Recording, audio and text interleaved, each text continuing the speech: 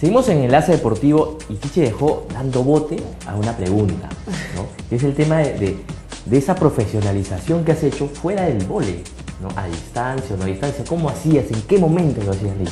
Pues eh, casi siempre teníamos los horarios de entrenamiento a partir de las nueve y media hasta el mediodía, ¿no?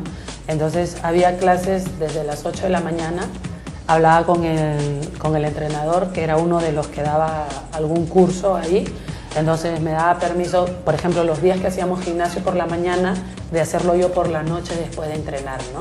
Entonces lo podía hacer, porque las clases son de lunes a viernes, al menos el primer año, donde ves todos los deportes, reglas, bases, federaciones, o sea, todo lo que te puedas imaginar de todos los deportes lo he hecho yo. Aprendido de todo. Sí. Y el segundo año estás, Emprendedora, ¿eh? Sí. el segundo año estás medio año en clases y el otro medio, la otra mitad de año eh, en prácticas, ¿no? Y pues ves todo, fútbol, básquet, natación, badminton, ping-pong, tenis de mesa, animación hotelera, primeros O sea auxilios, ahorita a ti nadie te puede decir que no conoces algo de deporte. administración, ves todo, inglés, todo. Qué maravilla. ¿Y cómo aplicarlo a nuestra realidad? Es lo que tú estás Ese, pensando en este ese momento. curso, por ejemplo, aquí es muy difícil.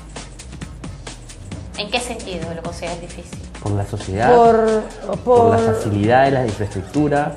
O la cultura infraestru- peruana. infraestructura no hay. Entonces, nosotros, por ejemplo, cuando recibimos al turista, los ponemos en, en un paquete, una visita turística, una visita guiada y ya está.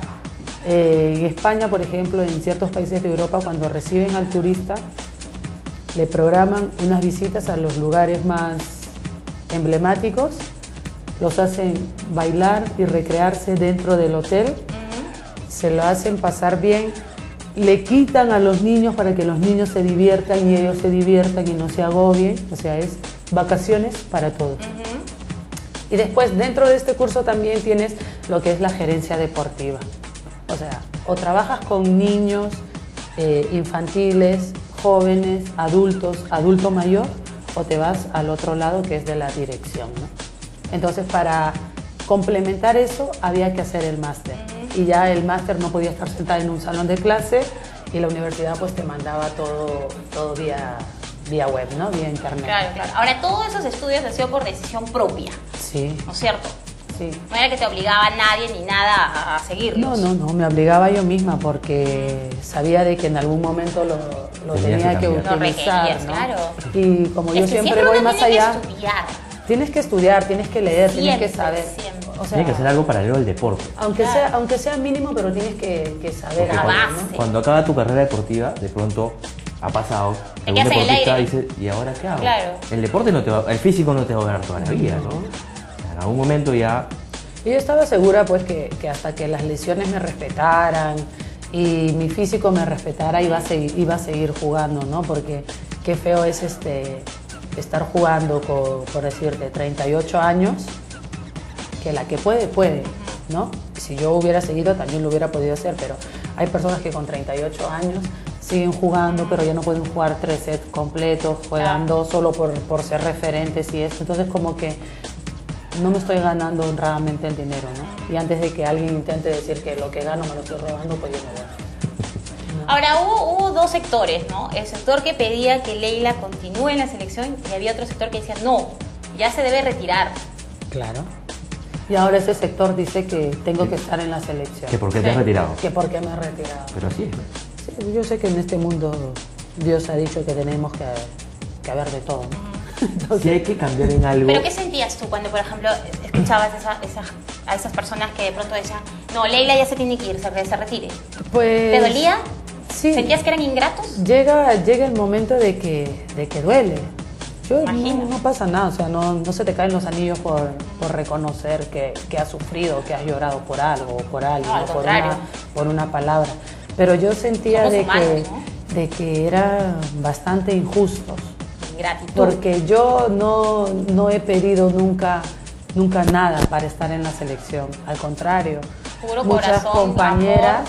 muchas compañeras al igual que yo utilizaban sus pasajes de, de los clubes, de sus vacaciones, para venir.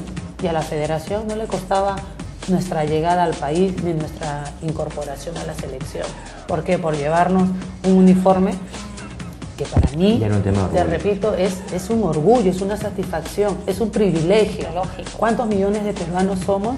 Y yo soy una de 12 que puede o que ha tenido la oportunidad de hacerlo. O ¿Y sea, cuántas niñitas eso a que ahorita no me lo va a quitar nadie. quisieran estar en tu lugar, ¿entiendes? Sí. Es decir, yo quiero ser como Leila. ¿No?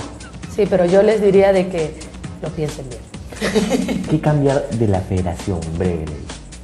¿Qué cambiar? Tú has sido muy crítica de todo lo que pasó en, en este proceso. Sí, hay que cambiar un poco de que la idea de, si lo miramos esto como una empresa, el producto, lo que te da beneficios o lo que te, te resta, lo que hace de que, de que tengamos más dinero o menos dinero, más prestigio o menos prestigio, son las jugadoras. Teniendo bien a las jugadoras, teniendo bien a las atletas, todo puede ir mejor. Bien alimentaditas también. ¿no? Alimentadas, vestidas, No como se dijo que cuando fueron al mundial de Japón no tuvieron pero ni qué comer. Atún. Atún. Pero Fue verdad porque, lo del atún atún. Porque. Mirta llevó atún porque siempre Porque si no ni siquiera eso hubieran tenido. porque casi siempre lleva, pero muchas cosas se quedaron en el aire y yo también hago una, si me lo permiten por favor, Por una favor. crítica a los a los periodistas que en su momento cuando yo hablé, que porque habla. Seguro como ya se va o ya tiene otras intenciones, empieza a tirar la palabrita esta para fastidiar todo, ¿no? Hubo una conferencia de prensa de la federación, la federación ex- expuso su caso, como había pasado, terminando la, la exposición de los de la mesa, ni un solo periodista fue capaz de preguntar o encarar de qué era lo que había pasado en la concentración de Corea y lo posterior en Japón. Ninguno, ¿eh? Ninguno. Acabó la conferencia de prensa y me llamaron a mí por teléfono periodistas, y algunos habían estado ahí, a preguntarme mi opinión sobre la gira, cuando ya habían pasado dos semanas que estábamos aquí casi. Entonces, como comprenderán, le dije, ¿has estado en una conferencia de prensa? Yo no ¿Por qué no estuve, pero sabía perfectamente quiénes estaban. Dije, ¿has estado ahí y no has preguntado y ahora me vienes a preguntar a mí? Perdóname, pero yo cierro este tema. Bueno, pero sí te entrevistamos eh, aquí para Enlace Deportivo y sí declaraste para Enlace Deportivo y dijiste lo que tenías que decir en su momento, porque nosotros siempre estábamos presentes, Mariana Naranjo, en todo. La última pregunta para irnos, porque lógicamente ya cambia de carrera. Eres política ahora. No, sigo siendo deportista. Los políticos son los otros. Ay, tú no eres política. Yo no soy política, yo no he nacido Y política. te vas a seguir dando el tiempo para practicar el vóley, Sí, de vez en cuando haré mi, mi pichanguita. para no perder el Ya físico. tengo tu número, ¿eh? Sí. ¿Qué prometería, Ya ¿qué prometería para irnos Leila Chihuahua en caso llegue al Congreso? En caso de llegar, si Dios me ayuda y, el, y la gente que, que me quiere o me quiere un poquito menos ahora me respalda, pues eh, trabajar en base a lo que yo he vivido durante estos 17 años que he dedicado mi vida al deporte para mejorar las cosas. Pero, repito, no solo del vóley, del deporte en general. Sí, lo sabemos, lo tenemos clarísimo. Del Después de todo lo que nos has hablado, además creemos de que puedes hacer un gran papel realmente en el Congreso y te deseamos lo mejor y mucha, mucha suerte porque es una tarea y mucha tolerancia. bien complicada. Yo soy tolerante por y muchos temas. menos Pero eres picona, además. Sí, está bien, pero tú te imaginas ahí discutir con mi tía Cuculiza. Leilita, de verdad, muchísima suerte en tu nueva tarea y que Dios te bendiga y te proteja de todo. Gracias. Nos tenemos que ir, Nos Naranjo. vamos. Bien amigos, ese fue el programa de hoy. No se olviden de visitarnos www.enlacedeportivo.p. Nos vamos. Chau.